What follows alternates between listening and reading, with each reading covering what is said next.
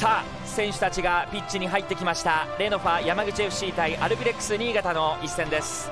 山口は何とかして今シーズン初勝利を。さてホームの山口が右エンドアウェー新潟が左エンド。今前半の45分がスタートしました。まず山口が前線に長いボールを蹴り込んでいきます。戻して島田レフティーのボランチです。縦パスいいとこで受けた。中間で受けてスルーパスは通った。ただオフサイドフラッグです。いやいい形でしたけどね、えーあそこで受けられるのが彼の良さですね。そうですね。一瞬山口のディフェンスとしては星選手が左に流れたこまあでもあの辺狙うのはね悪くないですよね、えー、そのまま渡辺選手に行ってるとあ前向き。ボールロスト。高木義明つないだ。島田ワンタッチ。星田星のシュート高い位置でショートカウンター発動アルビレックス新潟。スターター起用に応えました星。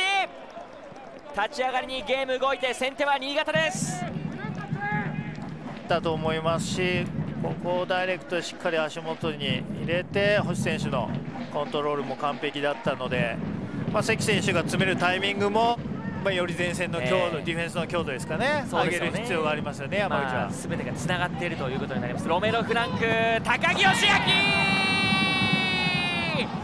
右からのクロスセンターで待ってました。トップ下の高木義明落ち着いたコントロールショットを沈めて点差を広げました新潟。高木選手、吉明選手もね強く振るのではなく流し込むような形ですね、えー、まあ、ここで鈴木選手が前に流れたことであの高木義明選手のコースも空きましたしこのパスもねシュートを打ってくださいというようなね優しいボールでしたので、えー、あの岸田選手がマンツーマンでって中盤がずれてっていうと1個ずれてくるかっていうところですかね。島田から藤原だ藤原クロスをチョイス。ダイレクトシュートは枠の外でした。ただ右を崩しました。新潟最後は高木義明、まあ、前半と後半は立ち位置を変えたという話も高木大輔選手がしていました。ここで前半終了の笛ですまあ、主導権を握った新潟0対2リードということになります。どう考えてきてるかちょっと見てみたいですけどね。そこ注目してね見ていきたいですね。さあ後半の45分のスタートです。エンド変わりまして左にホームの山口右にアウェーの新潟です。外を回りました藤原。ロメロフランク外を使った。さあサイドバックの藤原のクロスボール。鈴木の後ろ!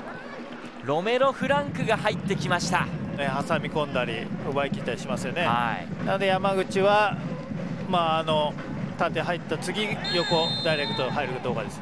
ちょっと危ないですねマイケルに対してのイエローカードリスタートです梅木。ただ止めました。さあ奪って出ていきたい山口。運ぶ。かわした。かわしていく橋本。橋本から中につけた左足でフィニッシュテクニカルなループショット浮田健生が決めました。キーパーの位置を見た。いや中島さん美しいシュートでした。角度だとね分かりにくかったですがおそらくスローで見た限りディフレクションですね。ただここで試合終了の笛です。1対2新潟